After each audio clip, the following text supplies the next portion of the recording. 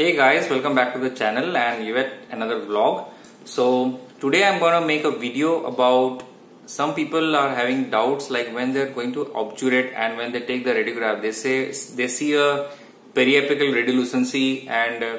they get confused whether should, they should obturate or they should defer. In other words, हमको observation करना चाहिए कि नहीं अगर पेरियपिकल रेडियोलेसेंसी दिखे। Periapical radiolucence can be of any form like widening of the PDL या फिर periapical abscess जैसा दिखे। तो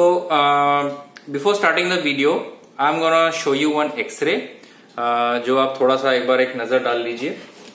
तो a patient came to me with problem in the lower three six and he had pain three six three five region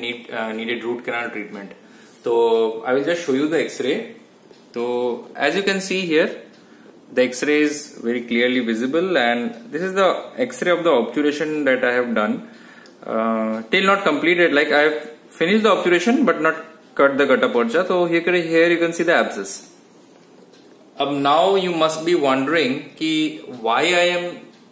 uh, why I have done the obturation but still there is radiolucency the apex. I could have waited much longer and uh, I could have told the patient to come after a month after the radiolucency disappears. So, see, in my view, when we are obturating, if the patient is not having any kind of symptom, patient is not having any kind of pain, and you have done your perfect BMP up till 6% या 4% 25 जो भी आप कर रहे हैं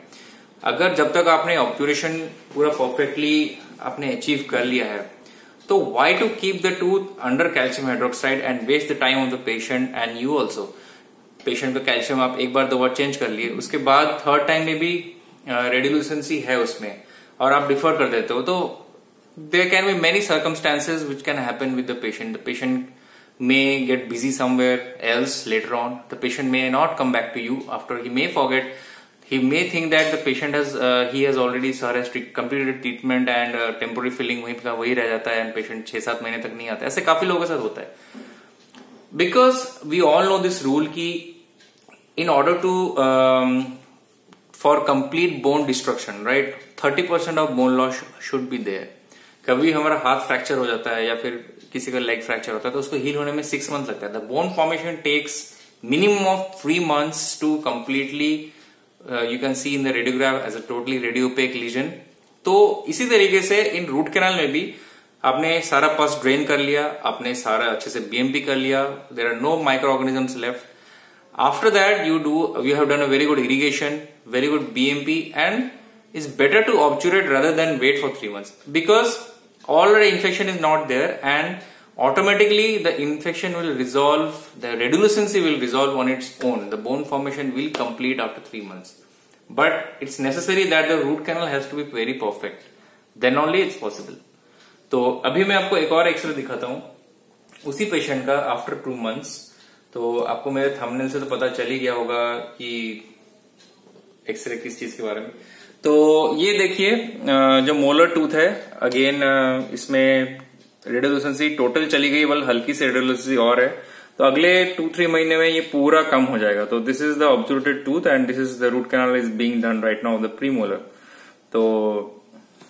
अगर आपको समझ में नहीं आ रहा हो तो एक सिंपल रूल है कि अगर आपने अच्छे से बीएमपी किया है, किसी भी केस का if you do a very good BMP then you are killing all the micro organisms which are present है you are killing a a you're reducing the amount of red complex bacteria then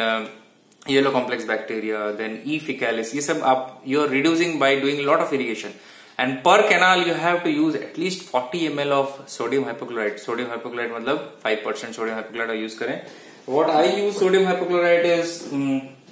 uh, this one hyposol it i feel it's very good because uh, it's 3% sodium hypochlorite many companies give 5% also uh, i feel this is very good and um, this company previous company i am not promoting it but personally i feel it's very good so if you give lot of hypochlorite solution and clean the canal very nicely, you will get a very good result. So, concentrate on irrigation. अगर रेडियोलिसिस नज़र आ रही है, पर आपकी ऑप्टरेशन perfect है तो वो tooth दोबारा रीइन्फेक्ट कभी नहीं होगा एंड स्लोली स्लोली वो अपने आप रिजोल्व हो जाएगा। अभी मैं आपको फिर से दोबारा एक्सरे दिखाता हूँ। तो ये छोटा सा एक वीडियो मैंने बनाया कि रिजल्ट्स आपको दिखाने के लिए। तो आप देख सकते हैं कि the radiolucency has totally disappeared now and earlier picture I I can show you the see the amount of radiolucency which is present here तो this is the difference if you do a good root canal and good obturation you'll be able to visualize um, the change within some time after you do the BMP and obturation so आज का video यही रखते हैं short and sweet video और अगर आपको कोई doubt है तो मुझे आप इंस्टाग्राम में मैसेज कर सकते हैं साई अंडर डेंटल मैं रिप्लाई करता हूँ लेकिन थोड़ा धीरे धीरे रिप्लाई करता हूँ एंड uh, सबको रिप्लाई करता हूँ लेकिन। तो take care and have a very great day take care